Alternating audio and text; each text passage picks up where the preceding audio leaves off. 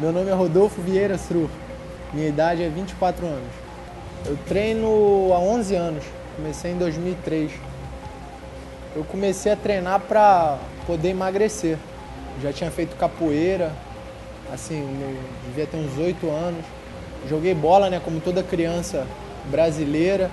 Gostava muito de, de luta, assim, e, e aí pedi para minha mãe me levar numa academia aqui em Campo Grande.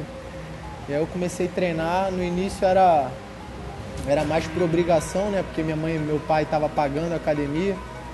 Então eu treinava duas vezes na semana, queria ficar mais na rua soltando pipa, não queria levar a sério. Só que aí depois de uns dois anos eu treinando, eu lutei meu primeiro campeonato, assim, em 2005 já, de faixa azul, na época aqui no Miésimo. E aí fui campeão, fiz duas ou três lutas, não lembro. E aí eu, pô, fiquei feliz pra caramba com o meu resultado e, e pensei em, em me dedicar mais e mais e competir mais, todos os eventos possíveis assim, fui pegando gosto e tô até hoje. O jiu-jitsu na, na, época, é, qualquer atleta que. Qualquer atleta não, lutador de jiu-jitsu era, era muito mal visto, né? Aqui no Rio, era conhecido como pit boys. E até então nunca tinha visto uma luta de jiu-jitsu.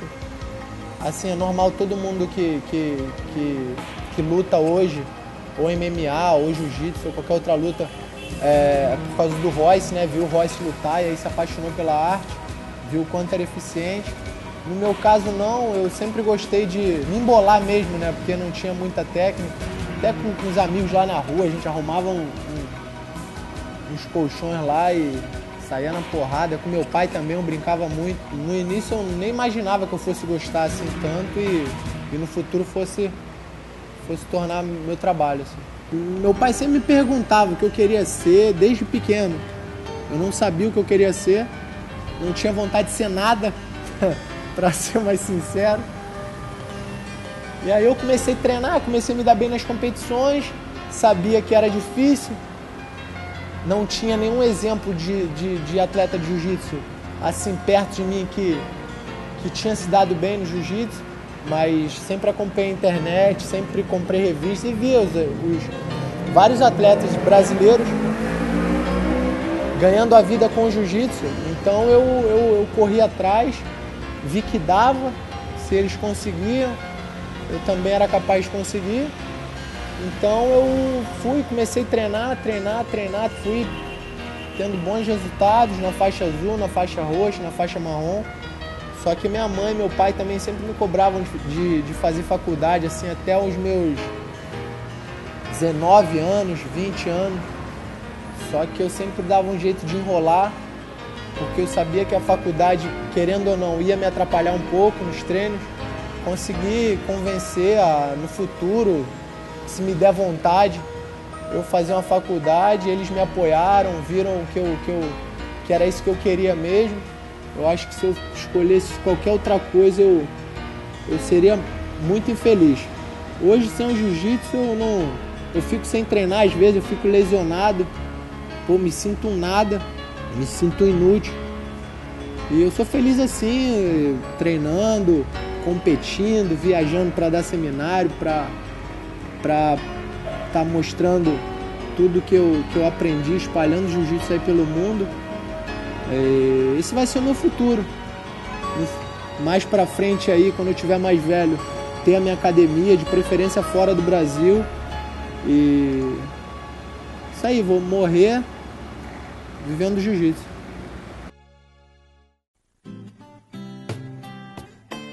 As dificuldades que eu enfrentei são a, a, a, é que todo mundo enfrenta, que é a falta de apoio, é a falta de patrocínio.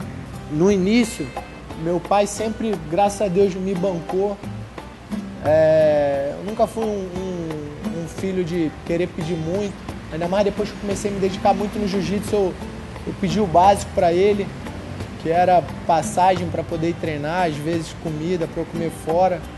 E ele sempre me deu, até antes de eu, de eu, eu começar assim a ter meus primeiros patrocínios de grana, que eu fui começar a ter já de faixa marrom. É isso, só que eu nunca, eu nunca reclamei.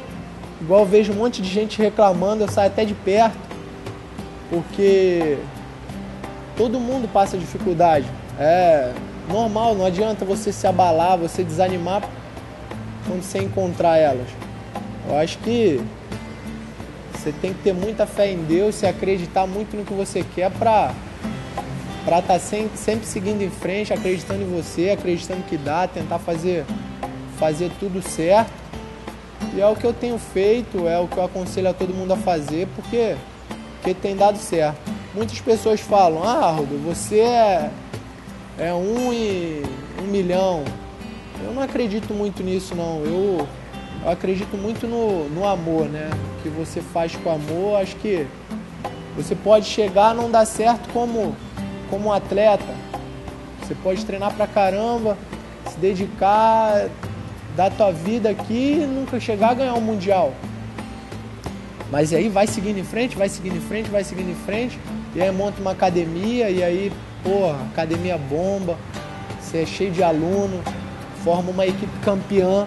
Eu acredito muito nisso. Eu faço a preparação física aqui, aí treino, treino no Meia, que é o treino mais forte mesmo da nossa equipe lá na matriz. E aí venho pra cá, pô, mas mesmo assim a galera aqui é muito dura. Tem um monte de faixa azul bom aí, o Wilton, o Otton, o Calegari, o Cheng, o Barbie, pô, o João, Rodolfo Negão, tem uma galera, porra, casca grossa aí que me ajuda bastante. Tô muito feliz aqui. Galera, tem muitos amigos aqui que me ajudam bastante. Aqui na verdade é, é um treino mais para eu poder movimentar, para eu trabalhar minhas, minhas dificuldades, até porque é meu último treino, já estou cansado, que eu já treino de manhã forte, já treinei à tarde forte. Então aqui eu venho, os moleques me aceleram demais. E é isso, eu trabalho bastante minhas dificuldades, consigo trabalhar meus pontos fortes também, que é importante também, não adianta você querer só trabalhar a falha. Eu venho aqui mais para movimentar com a galera, para poder tentar ajudar também um pouco. Eu estava meio desmotivado ano passado, depois graças a Deus passou. E aí eu me animei de novo, comecei a treinar muito para a BCC, né, que tinha recebido o convite de lutar no passado. E aí infelizmente eu me lesionei, fiquei um tempão parado e aí pensei, repensei várias coisas. O que eu quero para 2014 é conquistar todos os títulos que eu, que eu conquistei em 2011 que foi o melhor ano que eu ganhei peso absoluto em todos os eventos que eu entrei da CBJJ, World Pro lá em Abu Dhabi. É isso, eu vou, vou treinar muito, vou treinar muito, já estou treinando forte, mas vou ter que aumentar bastante o ritmo e ganhar o, Abu Dhabi peso absoluto e o Mundial peso absoluto. São assim, os dois eventos que do ano assim que eu, que eu quero muito ter de volta. O absoluto, né? Porque a categoria eu venho ganhando já desde 2011.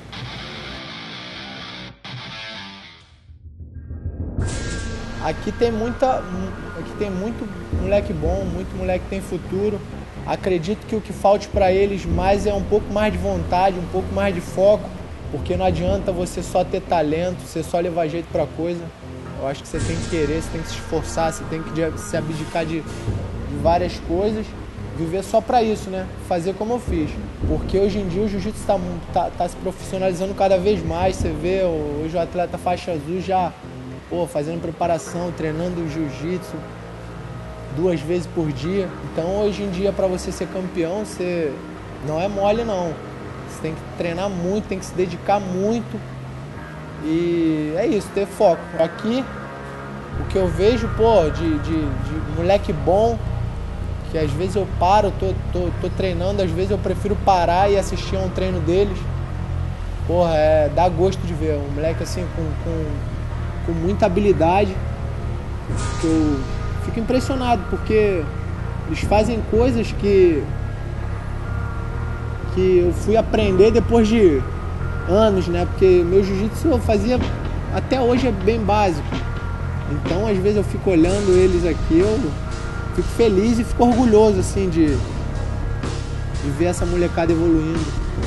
O que eu mais queria era que a galera aqui se dedicasse muito, porque eles têm muito jeito pro jiu-jitsu, eles têm muito talento. Eu vejo que eles têm chance de, de se tornarem campeões de qualquer evento, tanto aqui no Brasil quanto fora, brasileiro, mundial. Eu vejo que eles têm condições. E o que eu peço é isso, comprometimento. Tem o Gabriel aí que, pô, tá em cima direto. É difícil tu ter um professor assim.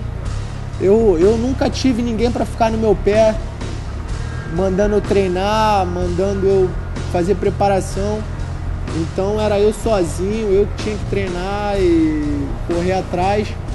Hoje os moleques têm tudo, tem, tem uma academia pô, de primeira linha, um professor também. É, tem bastante gente boa para eles treinarem. Então não tem como pedir muita coisa. Eu queria só que eles levassem o jiu-jitsu um pouco mais a sério. Treinassem mais forte, acreditassem. É isso, não tem mistério não.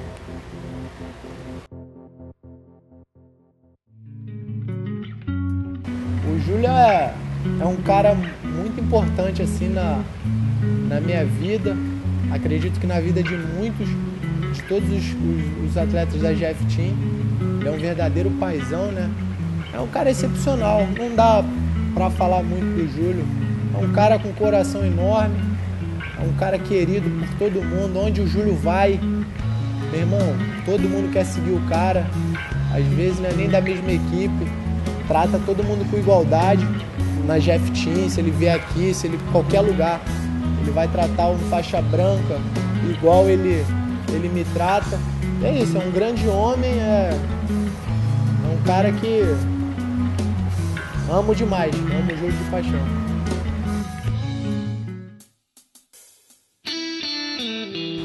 Pô, o Gabriel, cara, na verdade ele me viu iniciar no jiu-jitsu, né?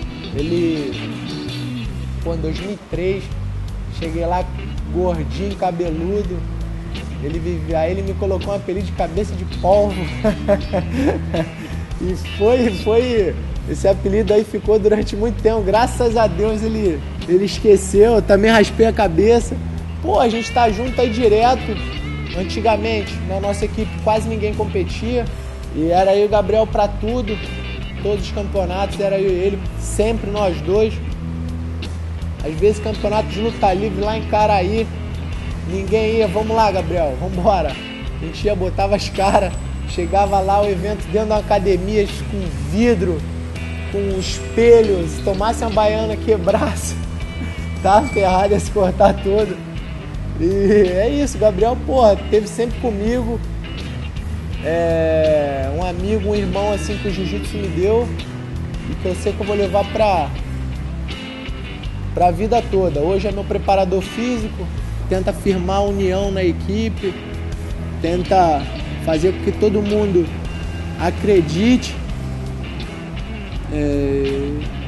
E é isso, né? Não é todo professor que é assim, que fique no pé do aluno, que fique em cima, mandando treinar, mandando, tipo, brigando se o cara bebe, se o cara sai, se o cara deixa de treinar, se o cara falta um treino. E a gente não teve isso. E isso é muito importante assim pra galera. O Gabriel é, um excelente professor aqui. Essa galera tinha que escutar mais ele. Todos os atletas daqui. É isso, o Gabriel é uma, uma ótima pessoa, um ótimo amigo. É meio cabeça dura, né? Às vezes, sempre. Mas isso aí a gente vai tentando mudar. Esse moringudo aí é meu parceirão também.